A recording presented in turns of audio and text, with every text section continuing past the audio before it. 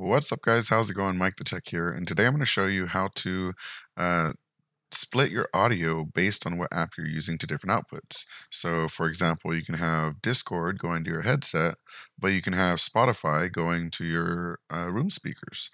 Uh, and you can split this between any of the devices connected to your computer and um, any of the apps that are um, playing audio on your computer. So it's a really easy process. All we have to do is go into your audio settings here, right click on that, and go to Volume Mixer. Now, Volume Mixer is useful in itself in that it will allow you to change the volume on an app basis. So if I want to change Chrome and have it a little bit lower, but have um, system sounds all the way up, or if I want the opposite, if I want Chrome all the way up, but system sounds to be not as loud because they're pretty loud, um, you can do that here.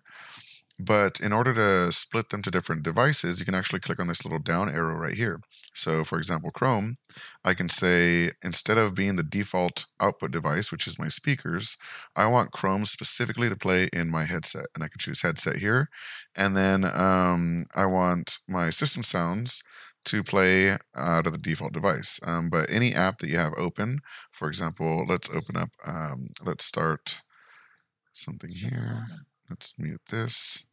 Um, and then Razer Synapse, uh, not Razer Synapse, Vivaldi will show up.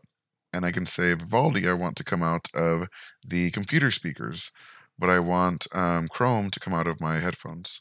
So, yeah, that's basically how you um, are able to get that set up so that every single um, uh, app can be specifically controlled to what device it gets output to. This is specifically useful in streaming when, for just that example, you might want your Discord chat to come out of your headphones, but you might want system audio to come out of another device. Uh, but yeah, uh, that's about it. If you have any questions, leave them in the question or comment section below. And as always, uh, thank you so much for watching. If you want to say thanks, click on that thanks or join button below. Have a great day. Peace. What?